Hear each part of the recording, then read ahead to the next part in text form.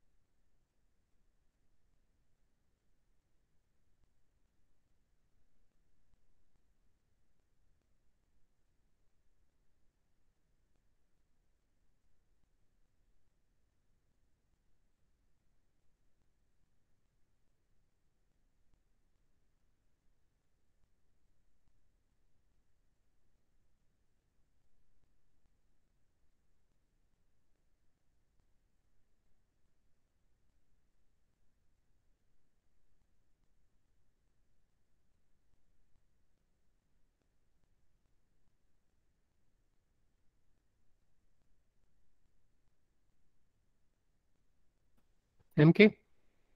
Yes, sir. You can start. Good afternoon to one and all. Hearty welcome to the Day 2, Session 3 on Implantable Antennas.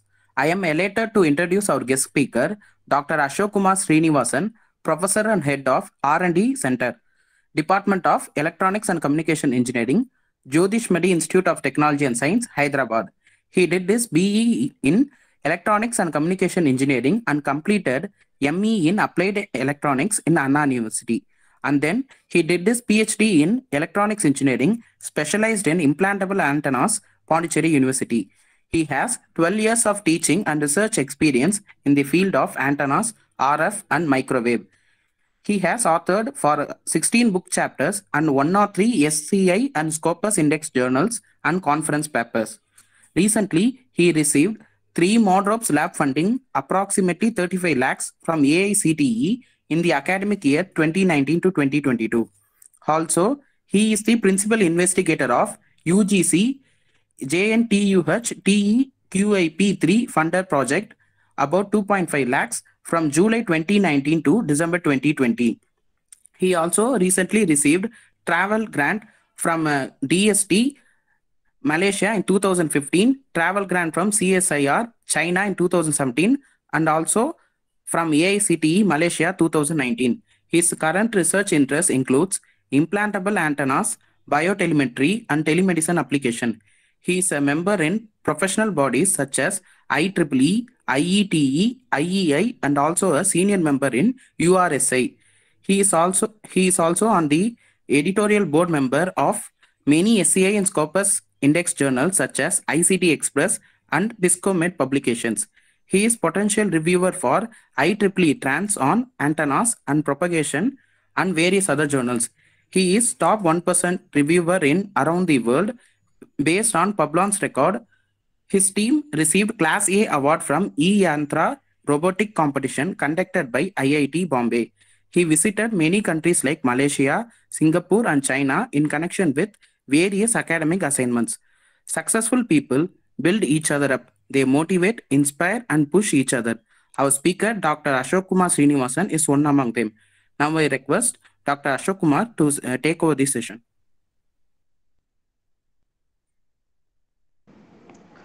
Thank you, sir. Thank you for your nice introduction about myself. Very good afternoon to all. I would like to thank organizing team for giving that better opportunity to share my research idea in front of among research peoples. Today we are going to discuss about implantable antennas for biomedical applications. Implantable antennas. Many people come to know about that implanted teeth. So when we are we don't have the teeth, we are going to implant by surgery, right? Similar way, we are going to do design our antennas for implantable cases for biomedical applications. Coming the slides, we will discuss about that, what is that implantable antennas, where we are going to use, everything we will follow in the following slides. So from that figure, without my guide, Dr. T. I am not here. So I would like to thank my guide for guiding that my PhD work as well as guiding my entire my life up to my life end. I will be follow my guide words. Without my guide, I am not here. I would like to thank my guide to given very good opportunity to do PhD in the field of implantable antennas for biomedical applications. Before going to our topic, we need to know about that microwave magics in kitchen room. Many people come to know about that uh, chicken 65, chicken uh, leg piece and fish curries. Just I'm giving that examples to you to know about that what are the magics it is available from that microwave uh, signals. Here from that uh, chicken 65, maybe you know about that what is the concept of chicken 65 the 65th day of the chicken it has to comes to outside and then the 65th day we are going to ma- make cooking. We are going to make fry. So that will be tasty compared to that other chickens. What is the reason? On 65th day the dielectric constant will be vary that uh, 65th day the dielectric constant will be very very tasty. That is the reason uh, we are calling that uh, chicken 65 it may be very tasty. Similar way that chicken leg piece the leg piece it's having that more muscle content. The muscle tissues the muscle tissues it's having that high dielectric constant. Based on that high dielectric constant it will it making tasty. Why means we are frying with help of that heat energy. That heat energy also we are going to use for that microwave oven and um, induction. Stove whatever it may be the heat energy it will uh, it, it may be used operate in that frequency of 2.45 gigahertz. With help of that frequency and these muscle tissues the both the things it will be combining together and the food item it will be tasty. Similar way that fish curry. Also it's having that more muscle tissues and it is having the different taste compared to that chickens why? Because it is having the different dielectric constant. So based on the dielectric constant based on the dielectric constant the microwave it plays that major role in our kitchen room. Not only that non-vegetarian side the vegetarian side also it's having that it's plays that major role for microwave magics. So whatever that vegetarian item you are going to um, heat uh, for example that cauliflower uh, mushroom whatever it may be you are going to taste that food it will be very tasty. What is the reason? It is having that more dielectric constant so based on that uh, concepts so everything it is totally based on that dielectric constant. Without dielectric constants we cannot able to live. In each and every material it's having different dielectric constant. So now we can go and start our session. Our implantable antennas contains biomedical applications introduction of implantable antennas, operating frequency bands for implantable antennas, motivational examples for implantable antennas, and what are the methodology we are going to use to design implantable antennas. I'm giving one separate uh, example research work for implantable antennas to design how we are going to use what is that what are the characteristics we need to concentrate everything we can discuss in the following contents biomedical applications. In recent research activities, these are all the, some of the applications were used in biomedical field. The glucose monitoring, retinal prosthesis, cardiophases, blood pressure monitoring, and temperature measurements. So these kind of biomedical applications were used for in that biotelemetry systems. The biotelemetry systems can provide wireless communication between that inside the body to outside it, outside the body to inside it, whatever that communication we are going to transfer vice versa and uh, some of the human being parameters like temperature measurements, heart rate measurements, muscle rate measurements, retinal measurements, brainwave measurements. So these kind of measurements signals we can get it from our human body and it, it can be transferred from human body to responsible person at the hospital. For this purpose we are going to use for that biotelemetry systems biotelemetry systems that biotelemetry systems we are going to design we, can, we are going to use uh, two variety of devices like sensors and antennas so in 10 years before, so many people, so many researchers, they have used for that sensors. From 2011 onwards, we have started to design antennas for biomedical applications. The implantable antennas for use in biomedical therapy and treating tumors for various psychological parameters. So we are going to use for our implantable antennas for biomedical applications to treat um, tumors and we are going to remove the tumors. For that purpose also we can use and then we are using that X-rays. X-ray also it's having that frequency. So with help of that RF and microwave signal we are going to uh, use for our biomedical applications. And in order to build wireless communication links between that implantable devices, that means the implantable device can be inserted into human body from that implantable devices into exterior instruments. Outside that uh, device, we are going to communicate between the two devices. With help of the two communications, we are going to get the signal from human body. So what are the things it is required? The implantable antennas needs low complexity. The complexity will be very less and small size. We need to consider about that size of the antenna will be very very small and low power consumption. We need to give very less power to that antenna. Then only it won't radiate our it won't much more affect on our human body.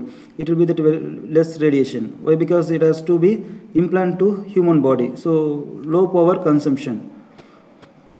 Here the frequency bands are available for to use for that implantable antennas the MICS band frequency MICS band frequency and ISM band frequency most popular uh, uh, frequency bands we are going to use for that biomedical applications. So many researchers they have used for MICS band frequency, medical implant communication service band frequency. It is operating that frequency range between that 402 to 405 megahertz. That 402 to 405 megahertz it's having that very less bandwidth. Also this frequency band it will be useful to radiate very short distance communication. So the MICS band, the medical uh, implant communication service band, the most popular researchers they are used for this frequency band and they are using that external device to get signal from the human body and then it will be transmit to that uh, doctors. For the purpose we need to use one more external device to collect that signal from human body. For in ISM band frequency, it's operating in the frequency range between that 433 megahertz, 915 megahertz, 2.45 gigahertz and 5.8 gigahertz. Among these four uh, frequency bands, the 433 megahertz it's also similar to the MICS band frequency bandwidth because it's also very less bandwidth. So we can use that same external device for to send that information from human body to hospital. For 915 megahertz, it is look like a GSM 900 model uh, frequency, and 2.45 gigahertz, it is look like GSM 1800 model frequency.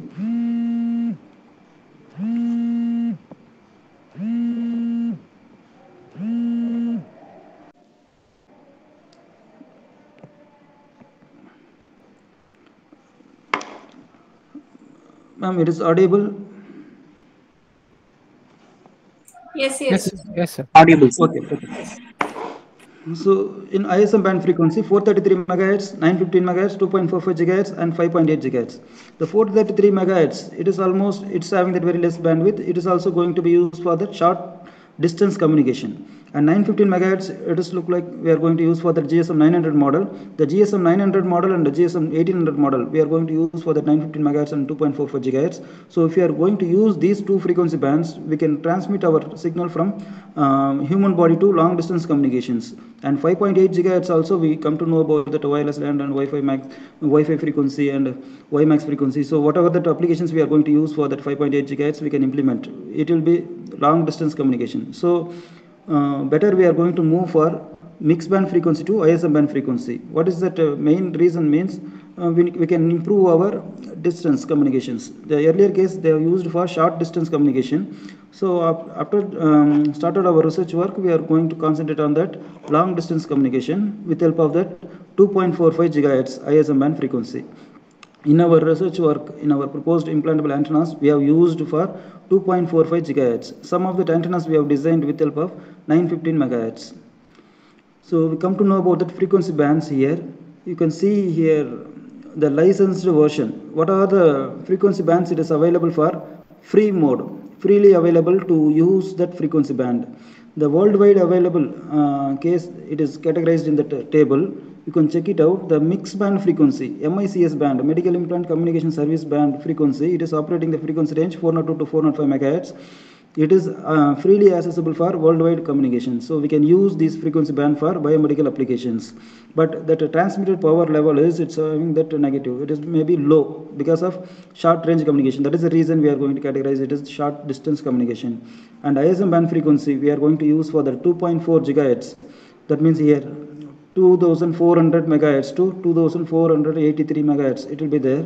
So this frequency band it is worldwide uh, freely accessible frequency band. Also it is having the transmitted power as maximum level.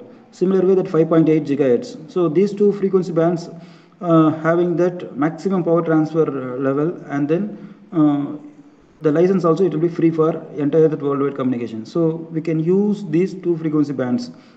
Among these two frequency bands in our uh, research work we have used for 2.4 gigahertz.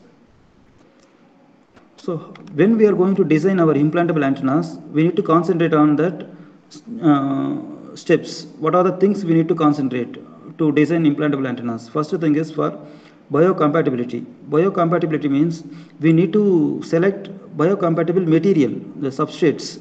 Whenever we are going to design that implantable ant- antennas we need to use substrates like fr4 roger uh, rt so many substrates will be there. So similar way we need to concentrate on biocompatible material for to use to implant our antenna into inside the body. So we need to concentrate on that biocompatibility. The biocompatibility materials are available in our market. First one is one thing is B, pdms polydimethyl siloxylene pdms substrate zirconium aluminum ceramic substrate teflon substrates so this kind of uh, example substrates i'm giving to you. Though this kind of substrates we can use to design our implantable antennas it won't be a problem for our human body. So when we are going to design the antenna with help of this kind of substrates it will be that biocompatible and it will be flexible mode for our implantable case.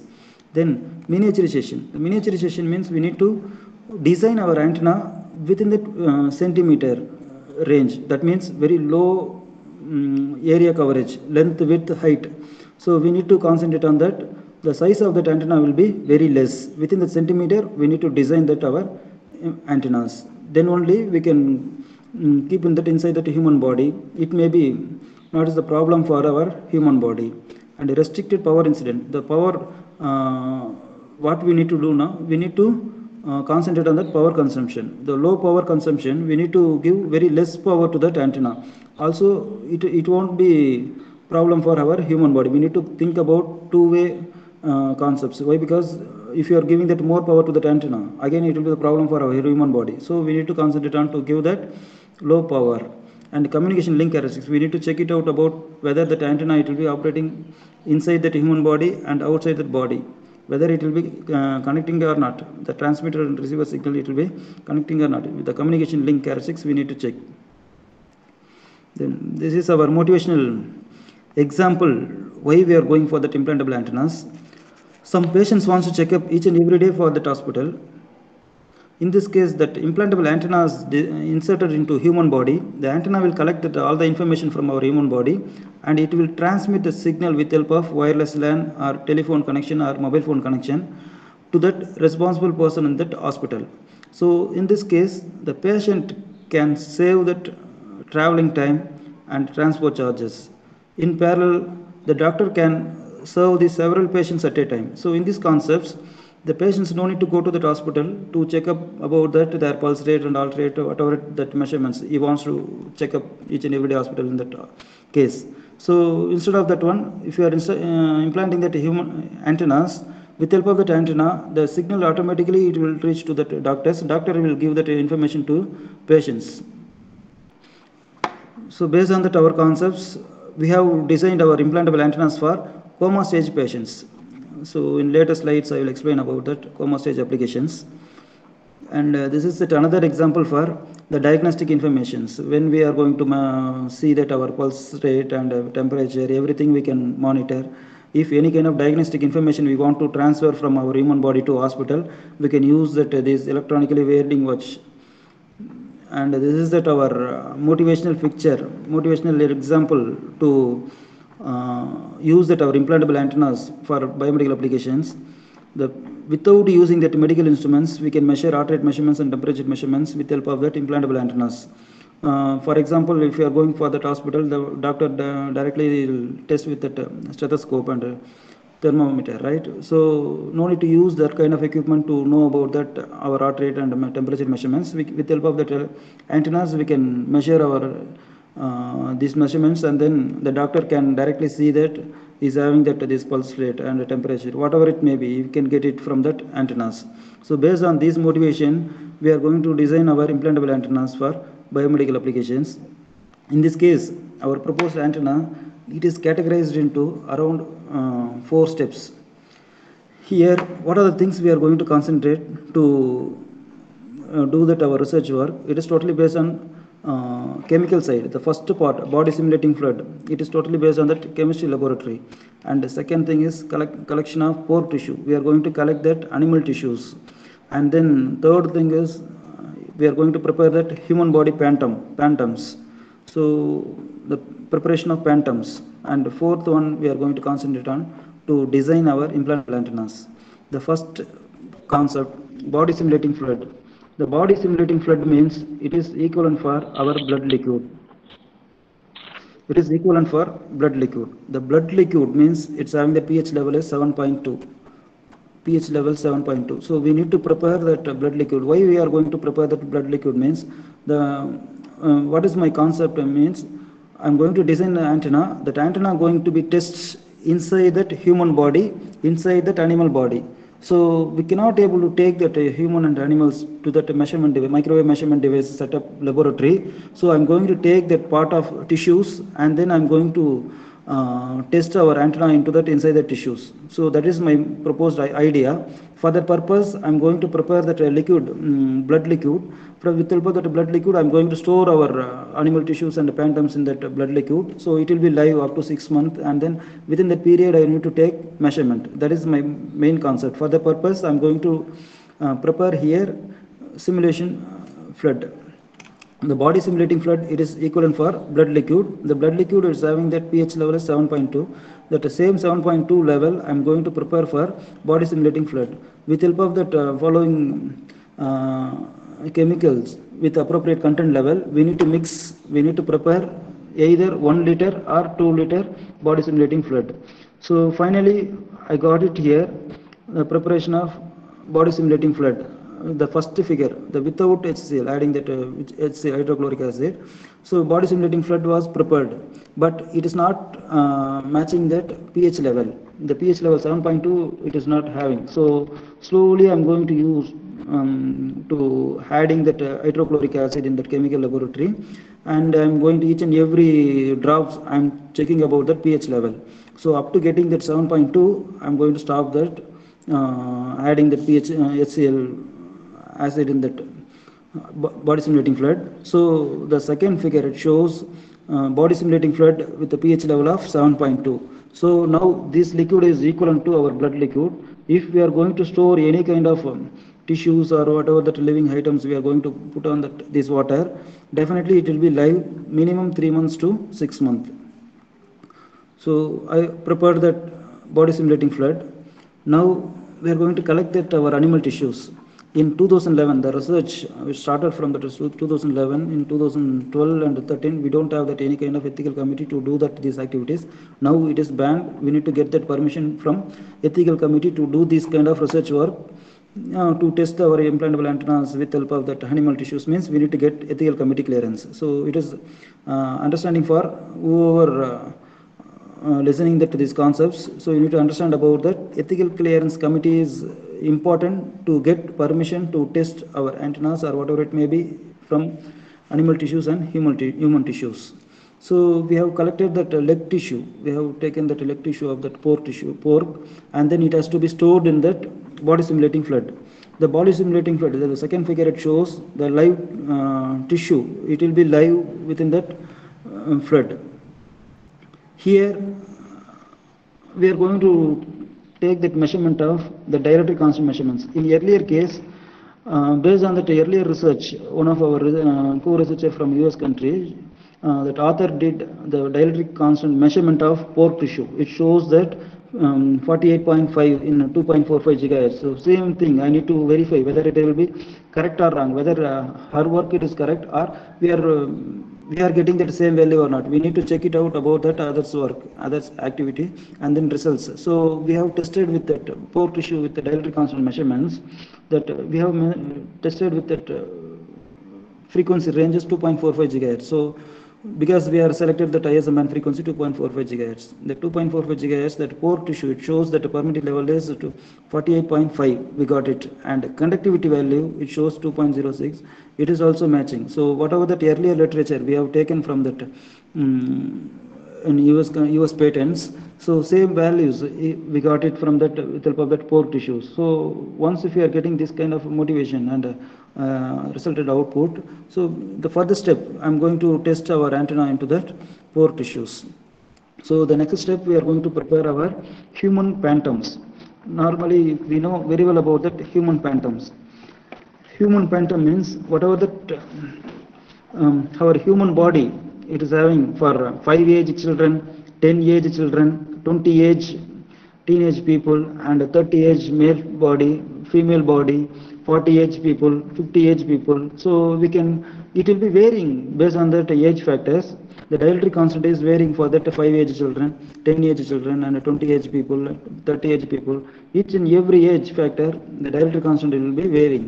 So the one unique uh, relationship between that ourself and um, pore tissue both are in same for 40 age people whoever will be there male or female body that uh, phantom it will be equivalent for uh, pore tissue dielectric constant. Whatever the pore tissue dielectric constant it will be there. Now we have seen 48.5 for muscle tissue. Same 48.5 it will be get, we will get it from that 40 age male body.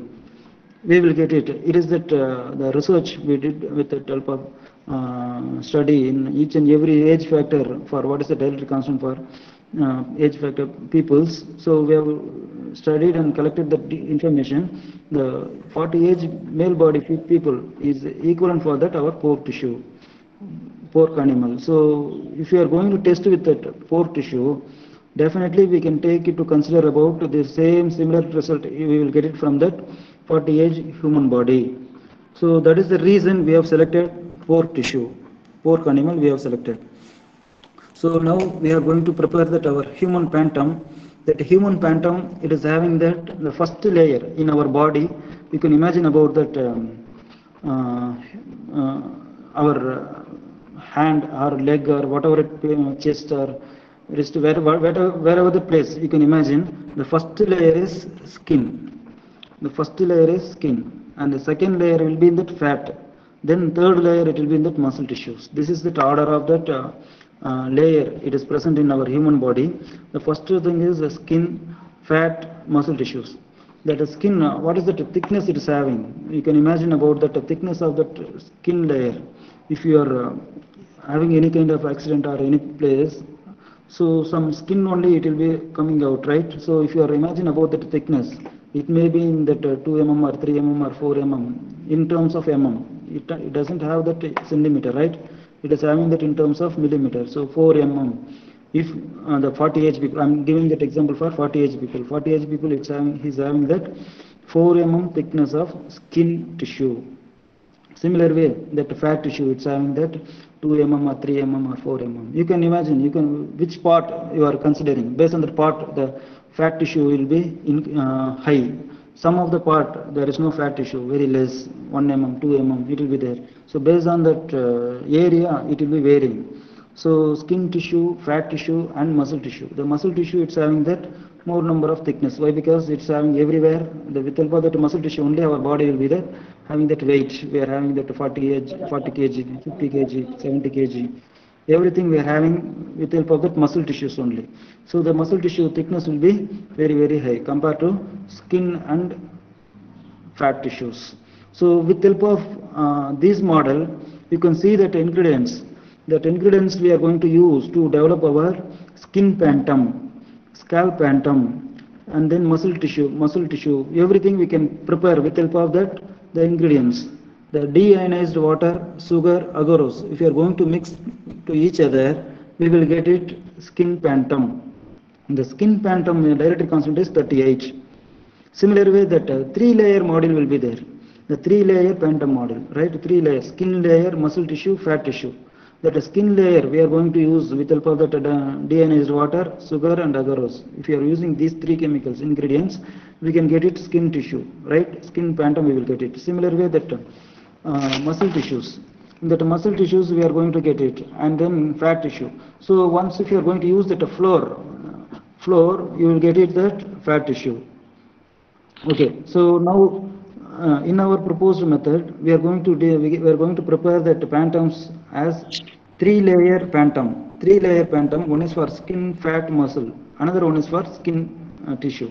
These two things we have prepared for that uh, phantom model so one is for three layer module you can see now yes so human body phantom, we are going to prepare that skin, fat, muscle tissues. We are going to prepare that content, appropriate content level for 50 percentage for deionized water and 50 percentage for that sugar. If we are going to mix these two things, we will get it skin phantom. And fat, we are going to use this percentage of content to mix to each other. Definitely we will get it fat tissue and muscle tissues. Okay. Now, you can see now this picture it shows that phantoms, male body, female body and uh, age factor, based on the age factors. So these phantom, it will be, this phantom, it will show that equivalent dielectric constant for that our uh, skin tissue 3.8, 38.38 and muscle tissues 52 and fat tissue 28 like that it will be equivalent for based on the age factor. This is that uh, uh, concepts to prepare that human body phantom liquid. Without this phantom, we cannot able to measure our uh, implantable antennas. So either you can buy this kind of phantoms or you can prepare this kind of phantom liquid. So the previous slide, it is for phantoms, the human phantoms. So it will be that uh, live dielectric constant will be placed here, the equivalent dielectric constant placed here, and a similar way this kind of liquid, the human phantom liquid also, it will be that having that same dielectric constant. So we have prepared here the liquid, phantom liquid for three layer module and single layer phantom liquid. The three layer uh, phantom liquid we have prepared with help of that skin, fat, muscle tissues and single layer phantom we have prepared only it is based on that skin layer. Only single la- skin layer right? Then uh, once we have prepared that p- phantoms already we have collected we have prepared that body simulating fluid and collected that animal tissues and prepared that phantoms also. So now it is a time to design our antennas and uh, this antenna going to be fabricated and that antenna going to be tested with help of this phantom and animal body to test know about whether that antenna is working or not. First we need to check it out. After that only we need to go ahead with that to implement implement our concepts. Right? So what are the factors we need to concentrate to design our antennas? In normally in, in antennas antennas it's having the different type of antennas. So if you are going to use that antenna um, first thing is uh, so many people you have studied about that uh, dipole antenna Yagi-Uda antenna parabolic antenna everything you have studied right so similar way here just I want to show that uh, pictures to you because easily you can understand about the concepts.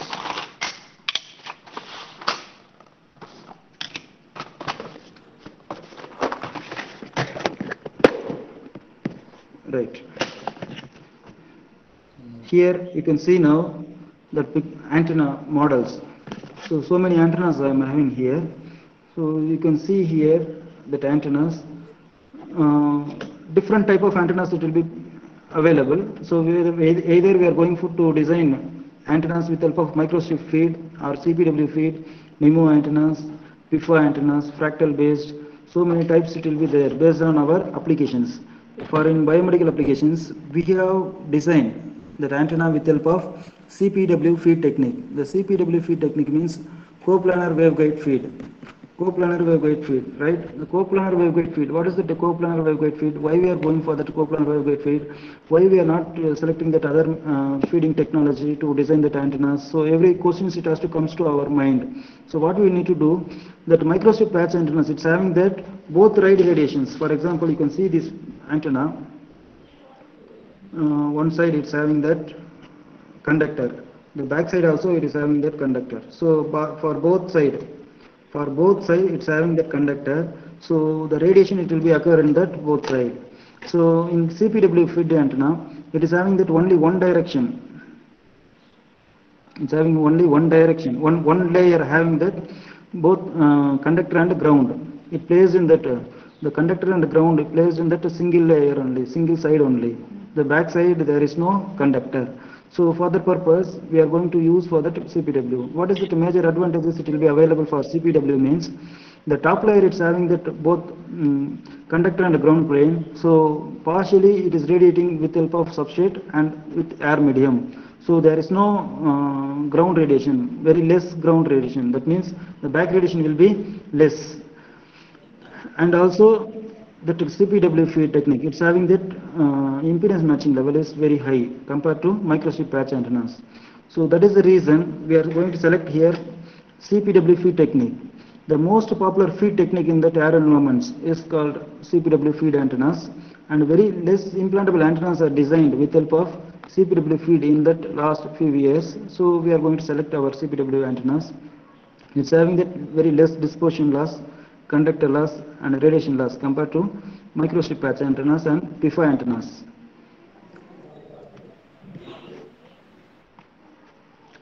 Mm, then some more features. It's having that uh, micro uh, CPW feed antennas. It means it's having that wider bandwidth. Wider bandwidth means broader bandwidth. So better impedance matching. The impedance matching level. Already you know about that uh, impedance matching of our uh, antenna characteristics. 50 ohm impedance matching. So the 50 ohm impedance matching it will be we are getting from that CPW feed antennas compared to microstrip patch antenna and PIFA antennas. And easy integration with active and passive devices. What is the easy integration with active and passive devices? Means we are going to interconnect the devices like diodes, resistor, capacitor, inductor, everything we can interconnect with that our antennas to increase our gain and bandwidth purpose. We can use. Uh, so this concept is MMIC circuits. We are going to integrate with help of MMIC circuits. It is uh, it, will be better results we are getting from the CPW feed antennas compared to microstrip and PIFA antennas. So in our case, we are going to use for um, design of implantable antennas. The first step, we are going to use simulator. So now four procedure we have completed now. What are, what are the things we have completed now? We have prepared that body simulating fluid and second things we have collected that animal, tissues and the third one we have we have prepared that body simulating fluid and that is sorry human phantom phantom liquid we have prepared and fourth we have selected which type of antenna we are going to design. So these four steps is now completed. Now we are going to design our first antenna with the help of simulation side. After that we, are, we can go for that fabrication, then measurement. Finally we are going to test with that antenna with the help of that uh, animal tissues and human phantom liquid. So this is our target. Once if it is working with that antenna, we need to go ahead with that publication and uh, patents. This is our actual concept, right? Now we are going to design our antenna with the help of IE3D simulator, HFSS, CST, ADS, FEKO, so many softwares it will be available. So we can we can use any one software. I'm not uh, focusing on only that IE3D. So we can use any kind of simulation software. So either IE3D, HFSS, CST. For biomedical applications, better you can go ahead with the CST simulation software. That CST simulation software directly it is having that human head model, human phantom, male body, female body, based on that age factor, they are having that phantom. So you can directly you can insert your antenna, which part, which uh, dimension you want to insert your antenna into that, inside that phantom, directly you can insert and then do that simulation, you will get that result. Uh, or otherwise, if you are going to select that IE3D simulator, you need to use here look like layers. You see now that the simulation set of model, it is available in the screen. So first layer is skin layer. In our human body, if you are taking that example for hand, the first layer is skin and then fat, then muscle tissues. So in between that fat and muscle, we are going to insert our antenna. What will be that responsible? So we are going to test about our antenna, how it is radiating, what is it is return loss, impedance matching, everything we need to concentrate on this figure. This is our simulation setup. We are going to design our implantable antenna with help of this structure only. Okay. Right. Now, the flow chart, the design procedure, the de- design process, the antenna design process, it is totally based on this flow chart. You can check it out. That first step, we are going to select our substrate, antenna substrate. Which substrate you are going to use to design our implantable antennas. The substrate is very important. Poly D methyl siloxane, PDMS or Teflon or zirconia or aluminum ceramic substrate. Which substrate you are going to use? So we need to select one substrate now first. Then after that we are going to find our design. Which design we are going to uh, use? For example, square patch antenna, rectangular patch antenna, circular patch antenna, or uh, fractal antenna, or MIMO antenna, whatever that may be, the shape, structure, patch, you need to concentrate to uh, design your concepts here. So once if you are selected substrate and uh, you finalize your uh, design, then go ahead with that simulation software. So simulation software, you are going to design your antenna structure. Once if you are designing the antenna structure, uh, you need to verify your result, whether it is coming for the 2.45 gigahertz. It is coming or not. You need to check it out. If it is not coming means, you need to do that optimization help of, for example, microstrip patch antenna means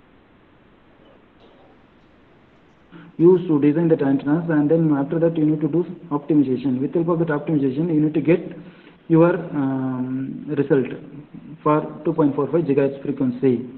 Once if you are getting the 2.45 gigahertz frequency, directly you can go to the next step to do fabrication. The fabrication uh, you can do look like a PCB board fa- fabrication. The same methodology you can use. If you are having that cutting machine in your laboratory, you can go ahead with that PCB board fabrication uh, as it's same step you need to follow and then you will get it that fabricated antennas. If you are having cutting machine, if you don't have the cutting machine, means directly please you can go to uh, do fabrication with help of that some industries. The industries are available to do that antenna fabrication with very less cost. So better you can go to that industries to do that fabrication step. So they will do within a day they will complete. Okay. So once if you are getting that fabricated antenna, next step you need to go to check whether your antenna it is working or not, whether it is working in that particular frequency or not. You need to check it out. So that is the measurement case. If it is not, uh, you are not getting that simulation result and measurement results are same, you need to go ahead with that. Again, you need to do that optimization. Go to that uh, starting procedure. Again, you need to do that, uh, design that antenna. Then you need to change that steps. Again, you need to come for that fabrication. Again, you need to do fabrication. So keep on you need to do. In the earlier case, during that last 10 years before, we, we need to design one antenna to test and um, uh, take that measurement. It will take minimum one month to two months because we don't have that measurement facility to, to test that antennas. But nowadays, we can uh, today we are going to simulate that antenna. Tomorrow we can do that fabrication. Within two days, we come to know about whether that antenna is working or not. We can finalize our antenna. Yes, it is working. We can use that uh, this antenna for these applications. We can close this matter for this uh, nowadays. But earlier case it is not like that because of the measurement facilities are lagging from the education institutions. Nowadays they are they are having that very very much of um, institutions they are having that measurement facilities in each and every state, each and every cities. So many institutions they are having that measurement facilities. So with help of this flow chart, we can design our implantable antennas and testing the procedures. Now we can we can discuss one uh, antenna antenna for biomedical applications. How to design that antenna and how we are going to check that antenna results.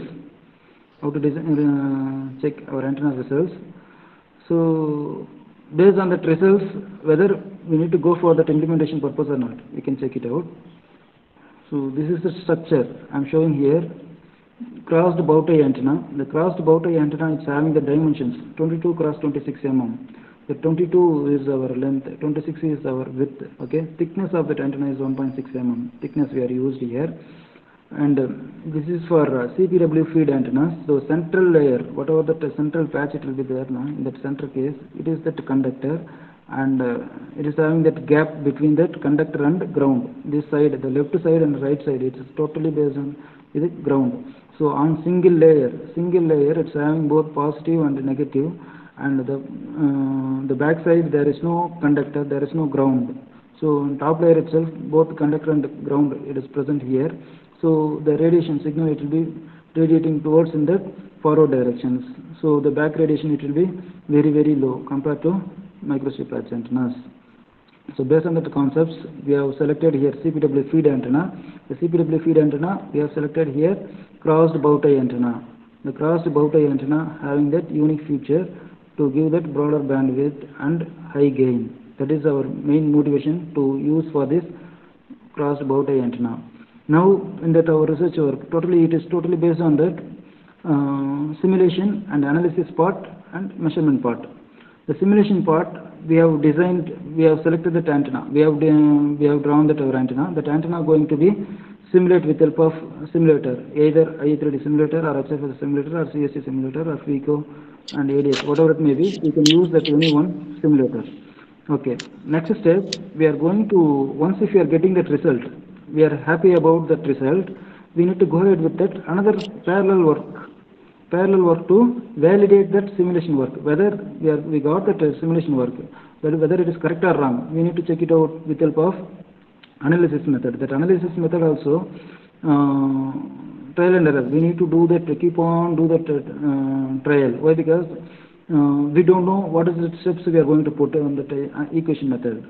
So here from this structure i'm going to segment it as five segments that five segments with help of that um, uh, discontinuities, the CPW discontinuities, with help of the discontinuities concepts, I have segmented here five segments, and then that five segments can be categorized here. I'm going to redraw that uh, antenna structure in terms of transmission line model equations, as shown in this figure here. So that each figure is having that the combination of T-type network and pi-type network. So that L and C values, we don't know the value of that L and C, but L and C formulas we know that with help of that formula we are going to calculate that L and C value with use of frequency f equal to 2.45 gigahertz. If you are using that FLA, easily we can find out that L and C value with help of T-type network and pi-type network, L and C equations. So once if you are uh, calculating that L and C value, I am getting the equation here. Finally, I got it. Input impedance. That input impedance here you can see now uh, this structure input impedance. Once I, I know that L and C value I am going to simplify that structure. Simplifying that structure. Finally I am going to finally I am going to calculate input impedance. Once if I am going to calculate the input impedance easily I can calculate reflection coefficient K value so already we know that formula it is reference formula we can take from that our textbook John D. Reflection coefficient gamma or k equal to z minus z naught divided by z plus z naught. That z naught is characteristic impedance of our antenna. The characteristic impedance of z naught equal to 50 ohm impedance. Then input impedance, whatever the impedance you are calculating here, you can substitute here. So if you are substituting that input impedance in this formula, you will get it a reflection coefficient. The reflection coefficient value, you can you can calculate a reflection coefficient. With help of the reflection coefficient, you can find out VSWR value and the return loss value. The VSWR value, it lies between that 1 and 2. The, your antenna is radiating perfectly good. The return loss value you are getting here, minus 10 dB and lower value, definitely uh, we can assure about our antenna. It is radiating uh, very good radiation in that particular operating frequency. So based on these concepts, we need to finalize about our return loss value. If you are getting here uh, minus, minus uh, for example, return loss value for 2.45 gigahertz, you got that same uh, output for simulation and analysis part means you need to use for uh, frequency starts from 0 to 3 gigahertz or 1 gigahertz to 3 gigahertz.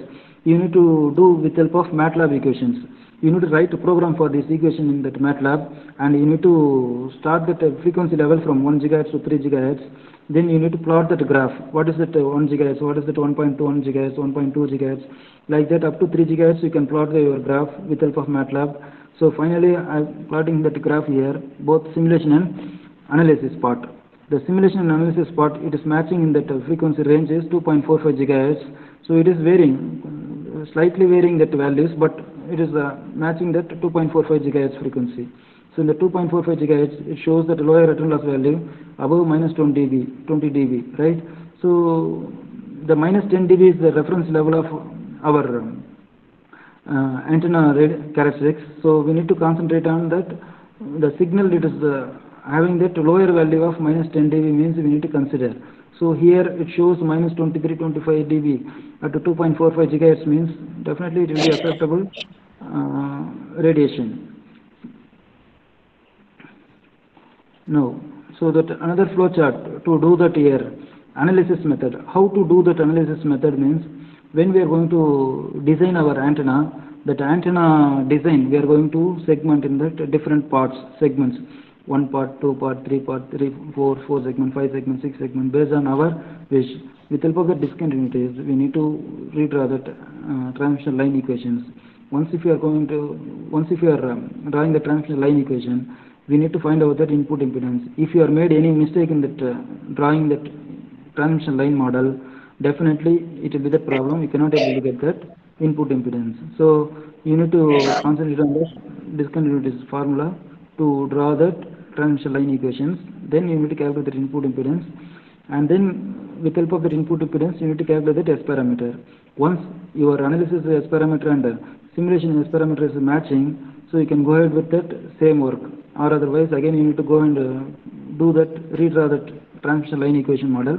Again you need to calculate the input impedance. Again you need to calculate the S parameter. Again you need to check. This process you need to uh, compulsory, you need to routine up to getting that equal result, matching that simulation and analysis result. Right. So with help of that MATLAB, we are going to see about that how that current distribution is occurred on that our uh, bow tie antennas. So you see now here that boundary level. So what are that boundary level we are going to concentrate to make that segmentations. For that purpose, that first figure you can categorize, and that second figure shows that contour region, that current distribution how occurred on that structure. So where, where which place it's having that maximum current distribution and the current distribution level. So we can see in that contour region and antenna radiation plot. So it is having that forward region. From that figure itself, you can easily understand about that. The antenna it is radiating towards forward radiation, right? And fourth figure it is having that cross section view of that uh, your radiation view in 3D view. So this structure earlier we have seen in that uh, antenna structure that antenna structure is fabricated with help of that aluminum ceramic substrate and it is fabricated here. Fabricated here and the SMA connector is connected. SMA connector is connected here with help of that soldering and this antenna is going to be test. This antenna is going to be test with help of vector network analyzer. The vector network analyzer means what it is look like a Smith chart.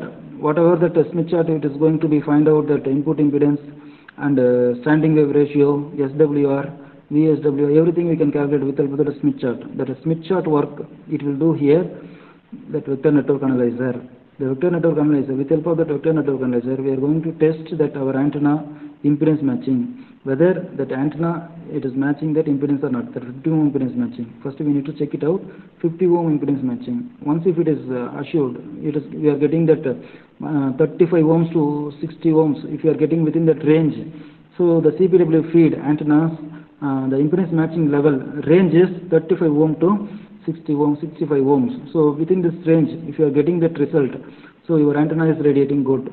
Your, your antenna is radiating good no doubt so we need to concentrate on that impedance matching first thing. Once if it is matching that impedance then we need to go to measure our return loss value. The return loss value it has to be like uh, it has to be lower value of minus 10 dB level. So and then VSWR VSWR value it has to be live uh, lies between that 1 and 2 if you are getting these results directly you can go to test your antenna with help of that radiation pattern measurements with anechoic chamber uh, setup okay then gain measurements so if you are uh, not having that impedance matching then you need to go for that again design simulation work then, then again do that fabrication again you come to that measurement without matching that antenna that impedance level no need to go ahead with that other measurements. It is the waste of your time.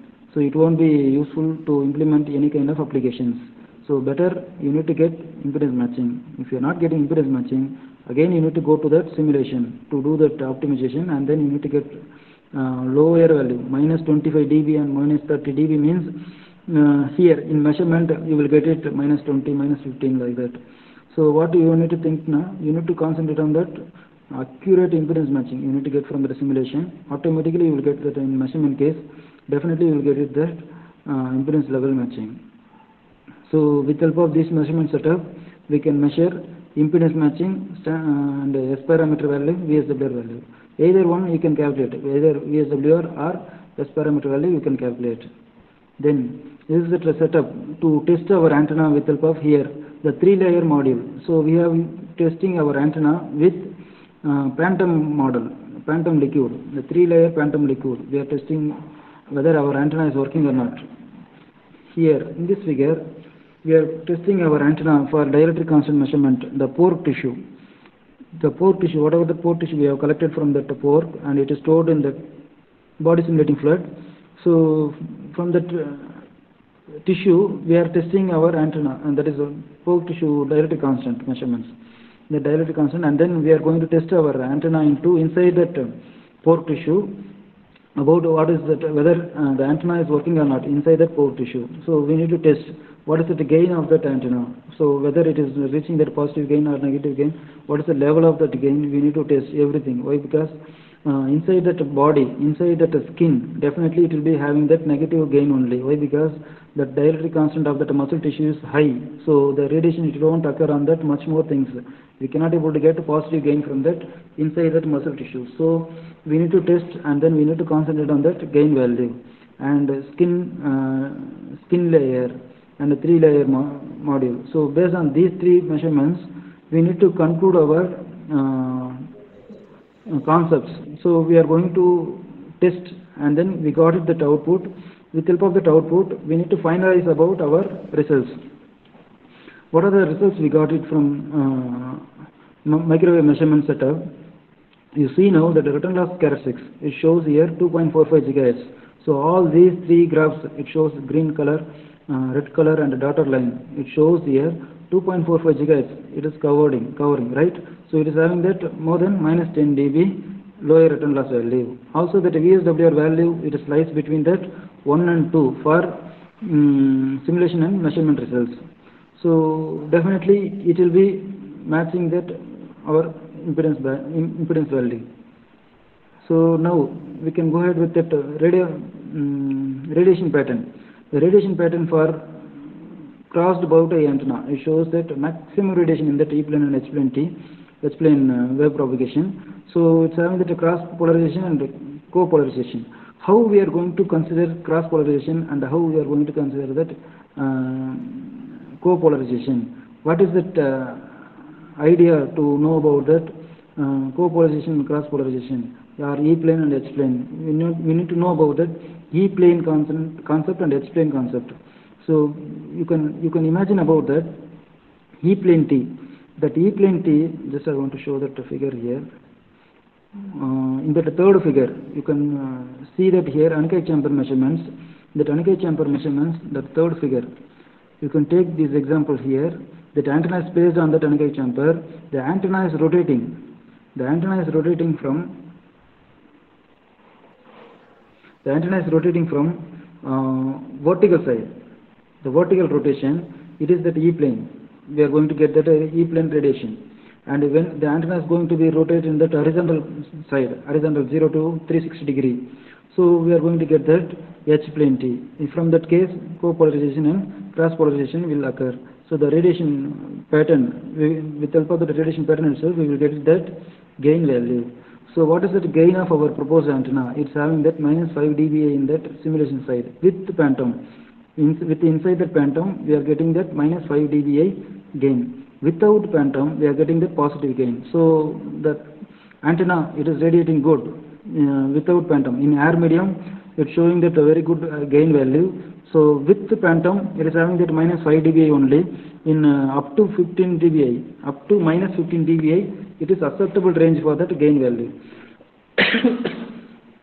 so we, we need to consider, we, need, we can uh, consider about that our gain value is, is acceptable range only.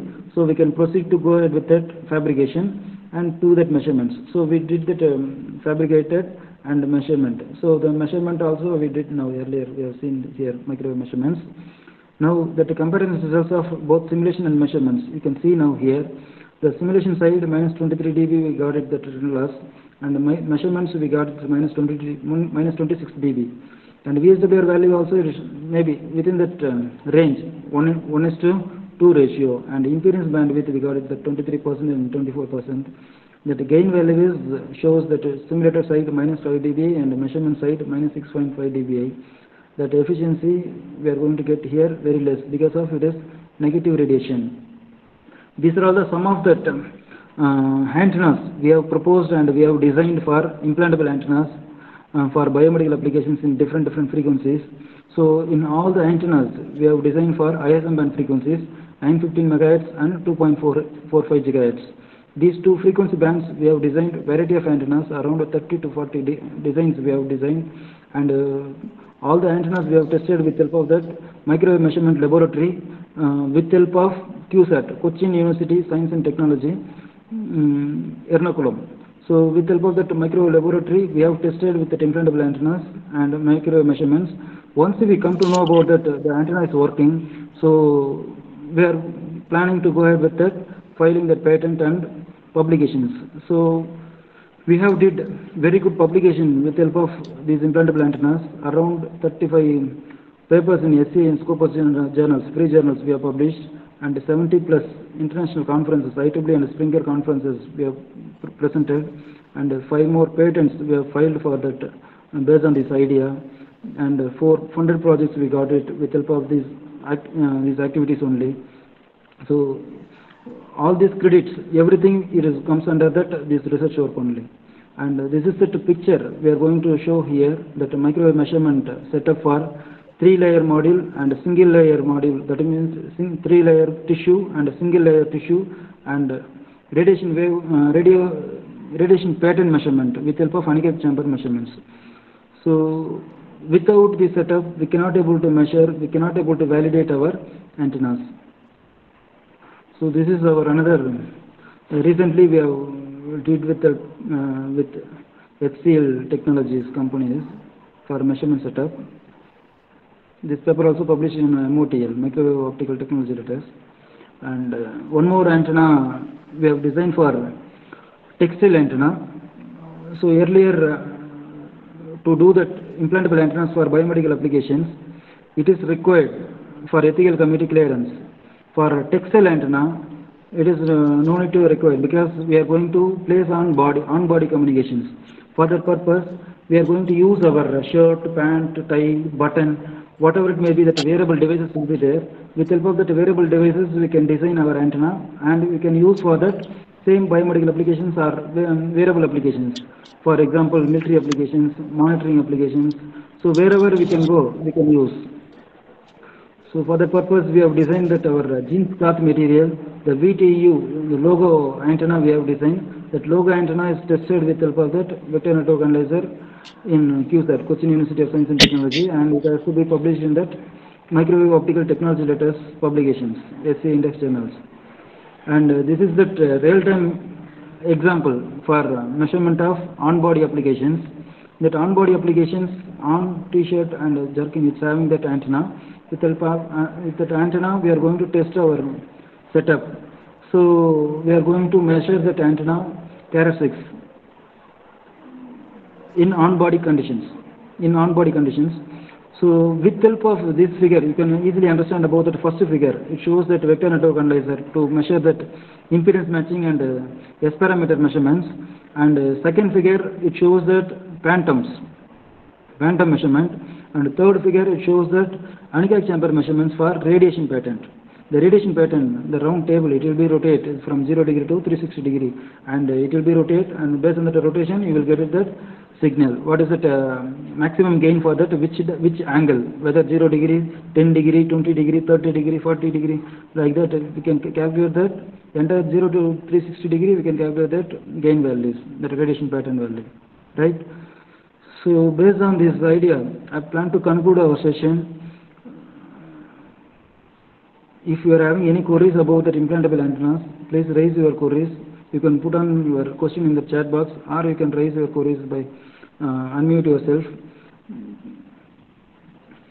By conclusion, so we have taken one some some of the examples uh, for only limited examples only we have taken for that year.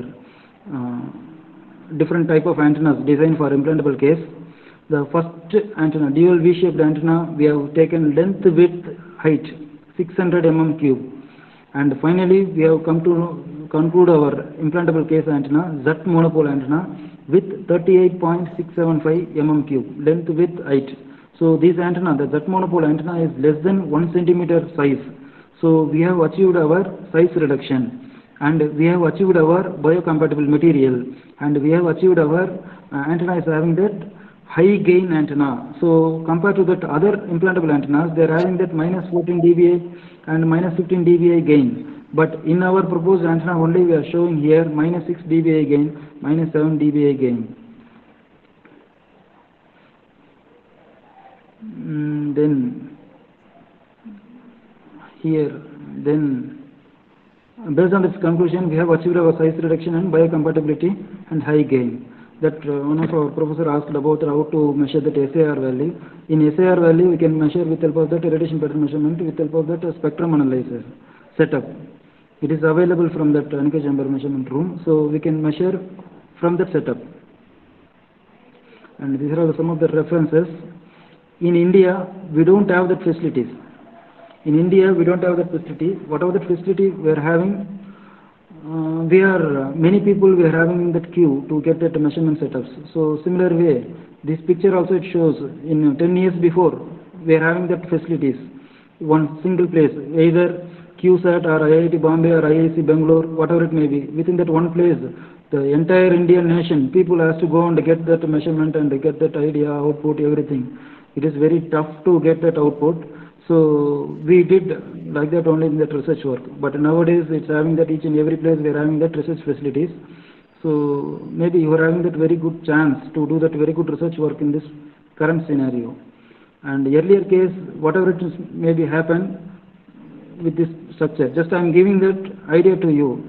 Whatever that problem we have faced in that 10 years before, 20 years before to do the PhD and do that good research work in our Indian country.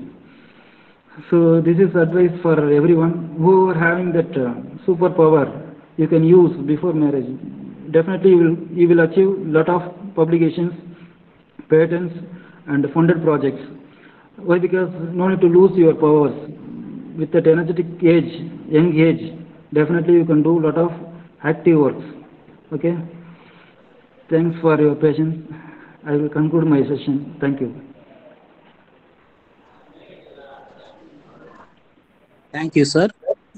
Thank you, sir, for enlightening us. In spite of your busy schedule, we've learned a lot through the session. Thank you once again, sir. Thank you, sir. Dr. Ashok. Thank you very much. The session is very interesting. Any questions?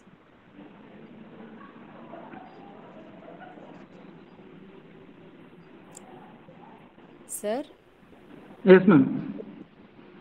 sir, uh, I was asking about SAR specific absorption ratio. Uh, yes, madam. Specific absorption rate we can measure uh, in that anechoic chamber measurements only, ma'am, in that uh, spectrum analyzer.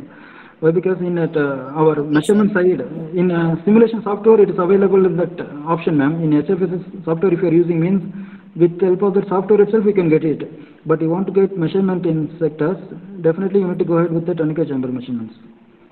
Sir, have you measured your antennas, sir, Yeah, for yes, madam. I have measured the SAR value, ma'am. One point, uh, the maximum level is 1.6 watts, but in our antennas, it shows 1.06 watts.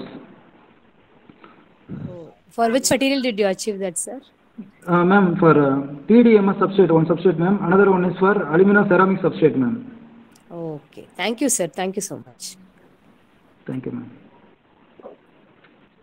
Participants, kindly fill the feedback form given in the chat box. Our next session is at 4 p.m. on stress management by Dr. S. Rajendran. Thank you. Thank you, sir. Thank you. Thank you very much.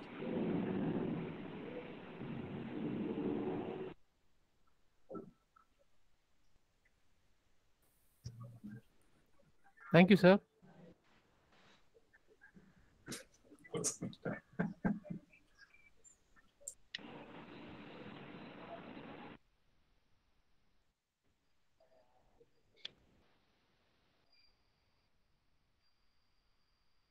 Our next session at 3:45.